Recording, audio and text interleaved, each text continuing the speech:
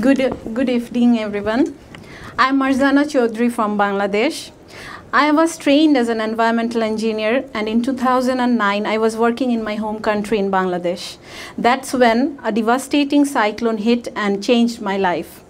I was working as a volunteer in the International Labour Organization, ILO, which is a UN body.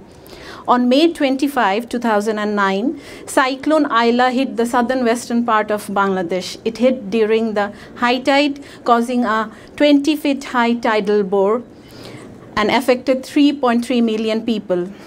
The protective embankments were breached with saline water entering and submerging village after village. Immediately after the disaster, I was sent on a relief mission to help.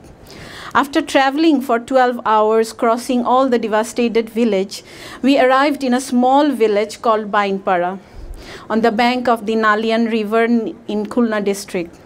The whole village was wiped off the map by the cyclone and around 208 families of the village lost their lives. Many lost their lives and those who have survived had to seek shelter either on higher embankments or by fleeing to cities. I was there on the location for three days, providing relief to the survivors, assisting our medical team, and counseling the distressed women and children. I could not sleep for days during my stay because of witnessing the destruction.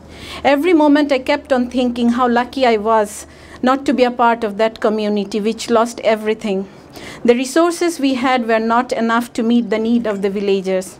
What they needed was the cyclone resilient infrastructure to survive the uh, disaster on the first place.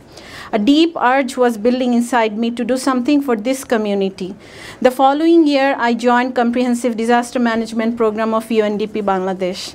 In this organization, I became one of the leading members of a team of engineers who designed and built new structures that were created to withstand cyclones winds up to 160 miles per hour.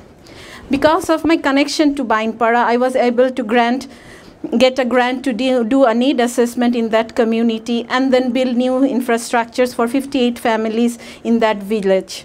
Each house is built with four separate columns so that it can withstand future storms and construction materials used were saline resistant and should be able to stand for 100 years.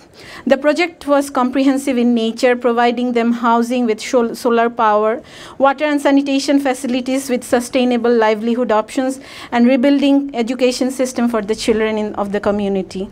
Later, these projects have been replicated in other several places by the other international organization and was a complete success. In the end, I would like to thank the members of ELP and UC Berkeley for giving me this opportunity and provide me the platform to share my experience. Thank you.